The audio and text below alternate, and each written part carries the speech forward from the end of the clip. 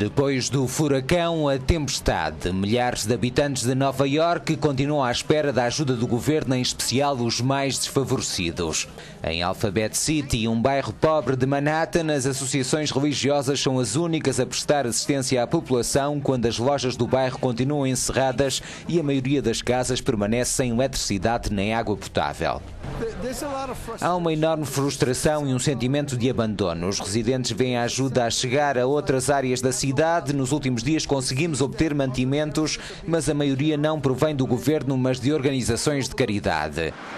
A penúria de combustível arrasta-se na cidade. O presidente da Câmara de Nova York, que garantiu que a maratona da cidade se vai desenrolar este fim de semana, é acusado igualmente de ter abandonado a zona de Staten Island, onde o furacão Sandy provocou pelo menos 20 mortos. Eu quero voltar a casa, mas não tenho uma casa. É uma situação angustiante. Quero regressar a casa, mas à minha casa. A reconstrução das zonas sinistradas deverá ser uma das mais caras de sempre no país, quando a fatura dos danos e prejuízos se eleva a mais de 70 mil milhões de dólares.